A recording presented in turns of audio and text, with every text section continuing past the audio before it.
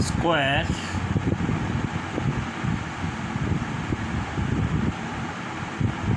Square.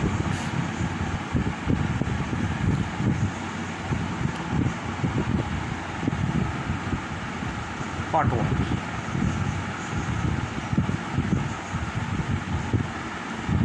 find. Find the square root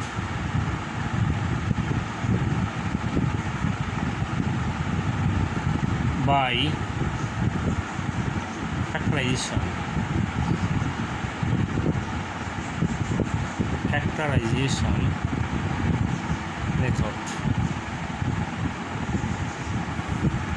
Find the square root by factorization method. Like 144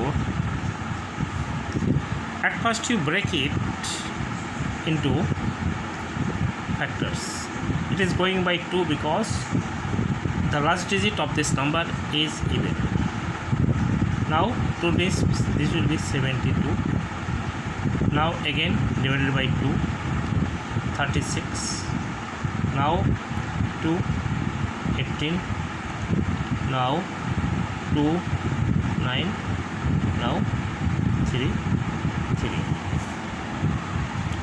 next root over square root means 144 equal to root over 2 into 2 into 2 into 2 into 3 into 3 now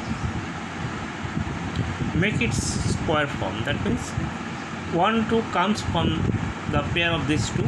That means 2 then the square root will be removed. Next here is 2 and here is 3 now 12 12 answer now 12 is the square root of 144 that means any number any number at first you break into factors break into prime factors like 144 144 first it is going on by 2 because the last digit of 144 is 4 that is even number.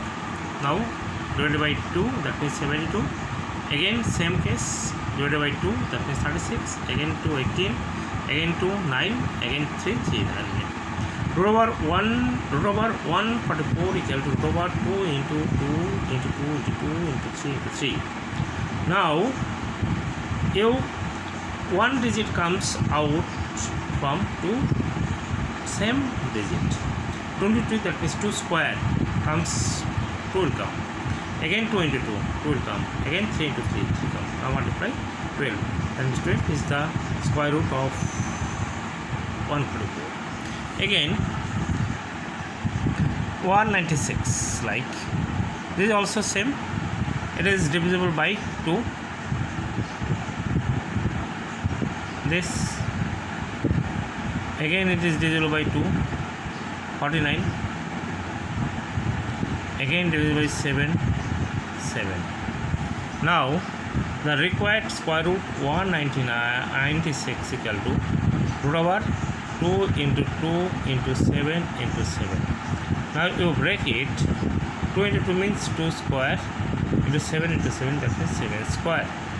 Now 1 will come that means 2 and 7 will come 7 it is 14 14 is the answer like this way like this way the result will come now 27 if 27 27 then square root will be 3 9 3 3 then it will be root over 2 into 7 that means root over 3 into 3 into 3 that means this one 3 will come and this is not fair.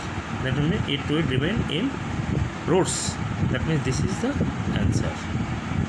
Okay.